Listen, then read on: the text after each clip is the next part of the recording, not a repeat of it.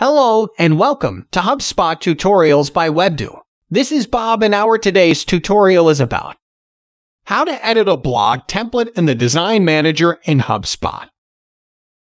You can edit your blog post templates, and some blog listing templates consist of multiple modules in the Design Manager tool in your HubSpot account. Let's see how to do this. In your HubSpot account, navigate to Marketing Go to Website, then click Blog. Click the Blog drop-down menu in the upper left and select a blog. Hover over a blog post and click Edit. In the Content Editor, click the Settings tab, then click Advanced Options. In the Template section, click Edit this template. In the Layout Editor of the Design Manager, click the blog content module.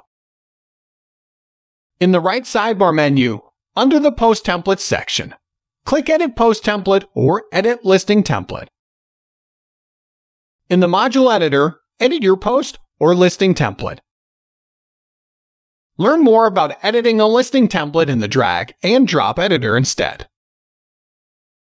In the Layout Editor, click a module to edit it. Modules appearing to the right of post content on your blog will be in the blog sidebar group.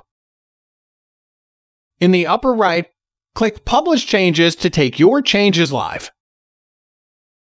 That's how you can edit a blog template in the Design Manager HubSpot. Thanks for watching.